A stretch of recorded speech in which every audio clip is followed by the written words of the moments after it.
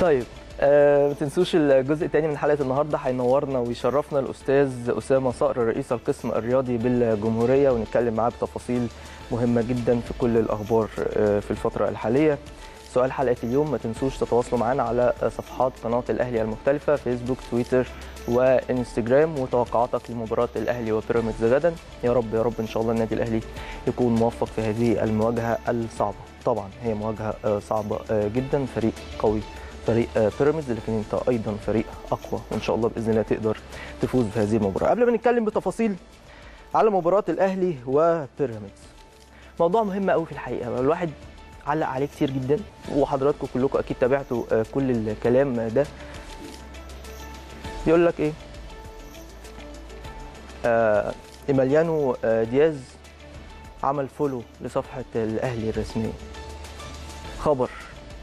موقع كبير موقع كبير أنا بحترمه جدا في الحقيقة يعني من المواقع المميزة.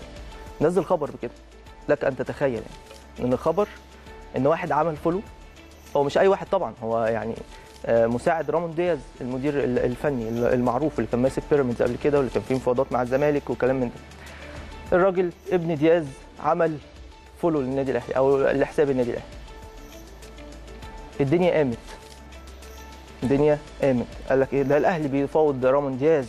وما معنى كده إن الراجل ده عمل follow يبقى خلاص كده آه، رامون دياز هيجي. وإن الأهلي مترقب مباراة الفريق مع بيراميدز. ولو الأهلي خسر ال- الإدارة هتمشي لاسارتي على طول وتجيب رامون دياز وكلام من ده. وبعدين قال لك إيه؟ محدث. رامون دياز نفسه عمل follow للنادي الأهلي. طب إيه المشكلة يعني؟ يا جماعة النادي الأهلي كبير عادي جدا أي حد يعمل follow للنادي الأهلي ويتابع حسابات النادي الأهلي على ال social media عادي جدا يعني. يعني أنا عايز أسأل سؤال. سين من الناس أي مدرب في الدنيا يعني سين من الناس. تابع حساب النادي الأهلي. أي حد تابع حساب النادي الأهلي. معنى كده كمدرب يعني معنى كده إن هو آه، هيمسك النادي الأهلي؟ هل ده منطق يعني؟ يعني لو جوارديولا مثلا أو مورينيو عملوا فولو لحساب النادي الأهلي.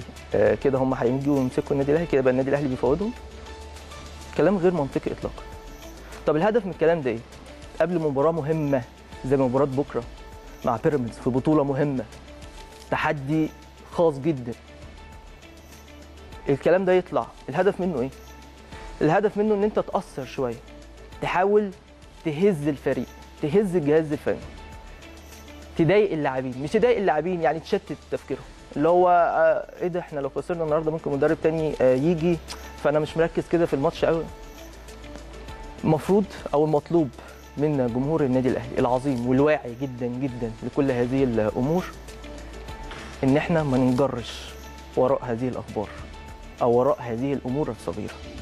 لأن آه، لما تنجر الحاجات دي أو تفكر في الكلام من ده أو تتداول هذه الأخبار وتتكلم فيها كتير وبعض يقول لك آه ماشي يا ريت والبعض يقول لك طب إزاي؟ و...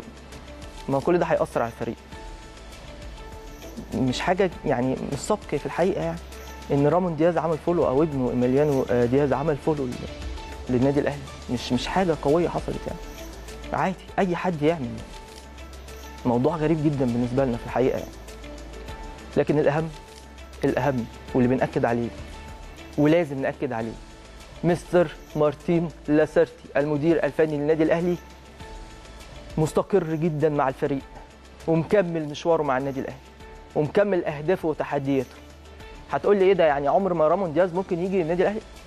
ممكن في يوم من الأيام تلاقي عادي. مدرب مطروح اسمه مدرب كويس بالمناسبة. و...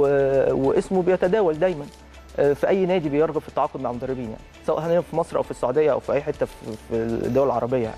اسمه متداول. لكن مش مش حقيقي خالص الكلام ده. مش معنى كده إن الناس دي جاية تمسك النادي الأهلي لا خالص خالص. الإدارة مقتنعة تماما تماما بمستر مارتين لاسارتي والراجل مكمل مشواره مع النادي الأهلي. طيب الواحد ممكن يقول لك إيه؟ هل ممكن كده إن النادي الأهلي بيتربص بمستر لاسارتي ومترقب نتيجته في مباراة بيراميدز؟ اطلاقا. خالص. وارد طبعا أنت لو خسرت بطولة هيبقى في كلام. يعني مش من الإدارة قصدي هيبقى كلام من الناس بيتكلموا. إيه ده؟ طب الراجل خسر طب ليه ما نغيروش؟ طب ليه الكلام؟ الطبيعي الطبيعي في الكرة المصرية. الكرة المصرية بس على فكرة لأن أوروبا عندك لامبرت خسر خسر أربعة من مانشستر يونايتد ومكمل. يعني في مشروع ماشيين من خلاله. النادي الأهلي ماشي من مش... من خلال مشروع آه ليه. المشروع بيتمثل في إيه؟ طبعا الفوز بكل البطولات واهم هذه البطولات بطولة دوري أبطال أفريقيا.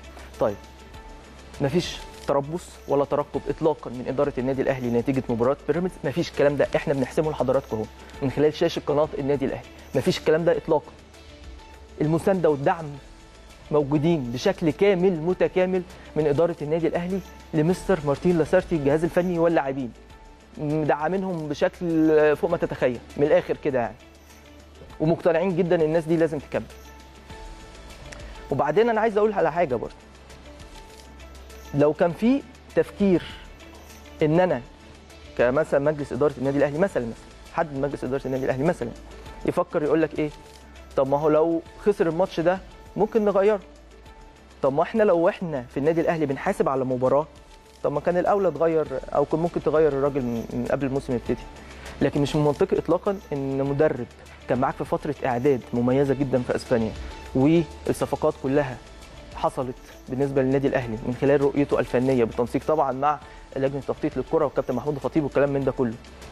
هل من المنطقي إن أنت بعد كل ده تربط الراجل بمباراة أو تحدد مصيره من خلال مباراة هتبقى بكرة؟ هل ده منطقي؟ مفيش الكلام ده خالص يعني. مفيش كده في الكورة. ممكن إحنا عندنا في مصر بنفكر كده شوية. لكن الواقع لا الواقع مفيش الكلام ده. خالص.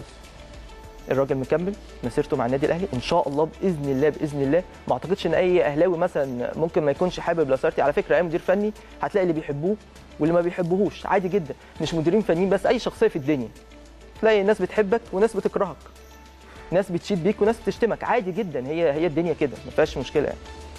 لكن هل ده معناه ان إن ممكن النادي الأهلي يكون رابط مصير مستر مارتين لاسارتي بمباراه مش ده النادي الأهلي. مش دي سياسة النادي الأهلي خالص. فبالتالي أخبار كلها في الحقيقة مع احترامنا لكل اللي كاتبها واللي اهتم بيها قوي كده بصراحة أخبار ملهاش قيمة كبيرة. ما تفرقش في حاجة. ومش هتقلل من معنويات اللاعبين ولا الجهاز الفني اطلاقا. الكل مركز. جهاز فني. لاعبين مركزين في هذه المباراة. الجماهير أكيد بتدعم النادي الأهلي. ما أعتقدش إن في أي واحد من جمهور النادي الأهلي يقول لك إيه آه طب الأهلي يخسر بقى المباراه دي عشان نخلص من, من المدير. الفني مفيش الكلام ده يعني. أكيد كل واحد من جمهور النادي الأهلي عايز الأهلي يكسب بكرة. وبإذن الله الأهلي هيكسب بكرة. إن شاء الله بإذن الله واحد أحد الأهلي هيفوز في مباراة بيراميدز. مباراة غاية في الأهمية ومهمة جدا. إن شاء الله تكسبها وتكمل مشوارك في بطولة كأس مصر.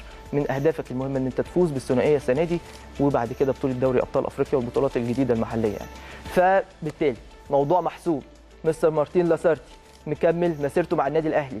ومع مش معنى إن أي حد عمل متابعة لحساب نادي عظيم وكبير جدا زي النادي الأهلي يبقى إن هو جاي في النادي الأهلي. مش هيبقى مثلا يعني لو لاعب مثلا عمل فولو للنادي الأهلي كده هنجيبه؟ مش منطق خالص. فإحنا حبينا بس نرد على هذه الأخبار وحبينا نعرف حضراتكم التفكير ماشي إزاي وحبينا نقول لحضراتكم إن لازم يكون في مؤازرة ودعم. بشكل كامل لفريق النادي الأهلي في مباراة الغد ونركز التشكيل هيبقى إيه؟ اللعيبه هيعملوا إيه؟ إن شاء الله المدير الفني يكون كويس يقرأ المباراه كويس. كل ده اللي إحنا منتظرينه بإذن الله من النادي الأهلي بكرة. ما تلتفتوش اطلاقا لمثل هذه الأخبار. جزئية كانت مهمة في الحقيقة. لكن لما نيجي نتكلم بقى على المباراة فنيا مش إحنا اللي هنتكلم فنيا لكن إحنا بنقول المعطيات اللي قبل المباريات دايما. مباراة تقيلة قوية جدا. من أقوى الفرقتين في مصر دلوقتي. آه بيراميدز فريق قوي. جاب لعيبة كويسة جدا. آه استغنى عن البعض آه المميز لكن أيضا جاب من لعيبة من أحسن لاعبين في مصر. عندك جون أنتوي جابه عندك إسلام عيسى لعيب مميز جدا جابه من مصري. آه عندك عدد كبير تواجد عبد الله السعيد تواجد مين تاني؟ إيريك تراوري ما شاء الله عليه. إيريك تراوري ده لعيب آه ما شاء الله عليه. عندك دونجا لعيب دولي. عندك علي جبر لعيب دولي. أحمد أيمن منصور أحمد الشناوي. لا فرقة كاملة فرقة متكاملة. آه آه آه بكار رجب بكار. لا فرقة كويسة جدا. فالمباراة قوية. الاستعداد ليها قوي جدا. آه مهم قوي إن أنت تتخطى عقبه بيراميدز إن شاء الله الموضوع ملوش علاقة بصقر ولا حاجة. يعني. إن أنت بتسقر من بيراميدز لا هي مباراة كرة قدم. مطلوب منك دايما كنادي أهلي إنك تكسب أي مباراة. هو ده المطلوب. مفيش طلبات أخرى. اكسب. وان شاء الله بإذن الله النادي الأهلي يكون موفق في مباراة الغد استعدادات مستمرة للنادي الأهلي. النهارده تدريبات. بالنسبة للفريق. آه، وبعديها مباشرة التدريب ابتدى الساعة 5 بالتحديد بعد ما يخلص المران إن شاء الله مباشرة. النادي الأهلي فريق كله هيتوجه للمعسكر الخاص آه، بالنادي الأهلي في مدينة برج العرب بمقر آه، هناك مقر الإقامة الخاص بالنادي الأهلي. وتستعد 24 ساعه لهذه المباراة. أكيد هيكون في قائمة هيتم الإعلان عنها بعد انتهاء المران اليوم. الأمور ماشية كلها بشكل جيد. عندك بعض اللاعبين بيعودوا آه، مميزين جدا. محمد الشناوي بيعود وليد سليمان بيعود. حتى لو وليد ممكن ما يشتركش أساسي لسه مش عارفين برضو كلها أمور متروكة للجهاز الفني. لكن أيضا محمد الشناوي إضافة آه، قوية. عودتهم مؤثرة لكن هي مؤثرة بشكل إيجابي طبعا. بس لو هم مش جاهزين 100% النادي الأهلي مش هيتأثر. لأن النادي الأهلي عنده قائمه كاملة جدا من اللاعبين المميزين في الحقيقة. أي حد يقدر يقوم بدور أي لاعب آخر يعني. فإن شاء الله كل التوفيق للنادي الأهلي في آه، مباراة بكرة أمام بيراميدز وتكون خطوة جديدة في مشوار كأس مصر بإذن الله. عايزين طبعا نبارك لمنتخب الناشئين لكرة اليد. فوزوا امبارح على آيسلندا وتأهلوا لدور نصف النهائي من بطولة كأس العالم آه، وهيقابل البرتغال بكرة إن شاء الله في مباراة قوية جدا. نتمنى إن هم يوصلوا آه، للنهائي. هم في الحقيقة حتى الآن عملوا إنجاز كبير جدا زي منتخب ال- الشباب اللي خد البرونزية في كأس العالم. إن شاء الله منتخب الناشئين نتمنى له جدا جدا إن هو يفوز بالبطولة كمان. ليه لأ؟ عندنا إمكانيات. وفي الحقيقة عايزين نشيد كل الإشادة بالاتحاد المصري لكرة اليد. الناس بتشتغل بيشتغلوا عندهم خريطة معينة ماشيين من خلالها. عارفين بيعملوا إيه؟ آه الأساس القاعدة الناشئين والشباب دول اللي هيبنوا الفريق أو المنتخب الأول لمصر كرة اليد اللي هيشارك في كأس العالم اللي هتكون عندنا هنا في مصر في 2021 فالواضح إن في خطة معينة ماشيين آه، من خلالها بشكل مميز جدا. فكل التحية والتقدير للاتحاد المصري لكرة اليد وكل التحية والتقدير لمنتخب الشباب اللي فاز خلاص بالبرونزية إنجاز كبير. وكل التمنيات لمنتخب الناشئين بإذن الله إن هو يجيب لنا الميدالية الذهبية. كمان لو جاب البرونزية أو الفضية أو طلع الرابع لا قدر الله يعني برضو إنجاز. يعني بنشكرهم آه، شكرا آه، جزيلا.